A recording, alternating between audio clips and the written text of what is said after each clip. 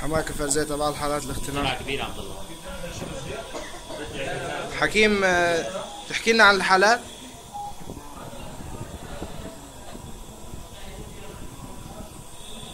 من 4 2014 حاويتين تنفجر لكن انفجر منها بلاء كبير.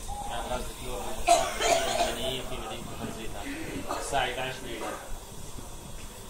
هذه عين هذه الحالات تشنج قصبي شديد سعال منهك وهن هبوط ضغط.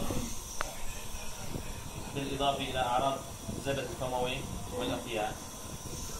العلاج الأساسي بهالحالة هو الإنزال مع الأكسجين كورتيزونات استيعاب قصبات كورتيزونات عن طريق الكينازي مضادات حيوية.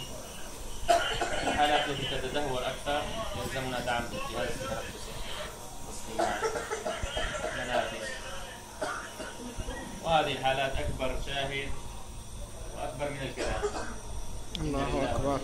حماك فرزيتا 18 4 2014 استهداف المدينة للمرة السادسة على التوالي بغاز الكلور.